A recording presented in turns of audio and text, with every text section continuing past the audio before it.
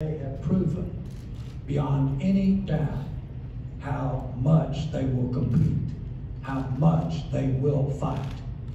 Uh, it doesn't take me long to understand why they fight when I think of the excitement around the competition, but then I think of the excitement of knowing that you are the very, very best on earth. And what was aptly described as arguably the glamour division of all of boxing. We're so proud of Errol. He's from here in DeSoto. But the main reason that I'm proud of him is when he fights at this stadium, he brings the crowd with him. As you know, we have a great, fantastic Mexican fan base. The Dallas Cowboys do. And Vaqueros de Dallas is very, very dominant south of the border and on the border.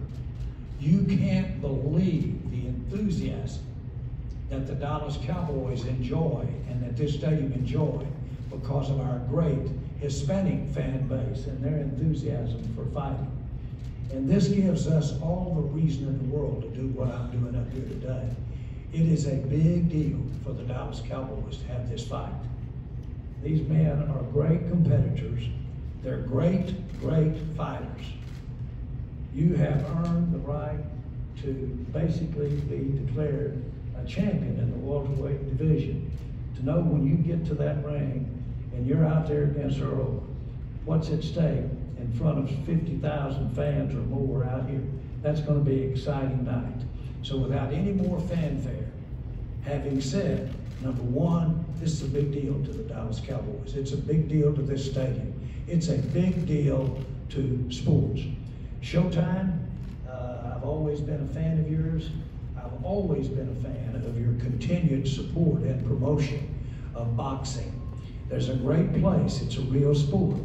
Uh, you don't have to worry about the end letting you down, or the center letting you down, or the quarterback letting you down, because you let yourself down or up when you're in the middle of that ring. That's who's carrying the mail out there. That's what's so wonderful, in my view. So thank you for being here. Uh, this is, uh, uh, you don't have to use your imagination to talk about the possibility of, and the talent involved and the skill and what's at stake here in this fight. I do want it to be on par with one or two of the greatest fights that we've ever had here, and we've had some good ones here.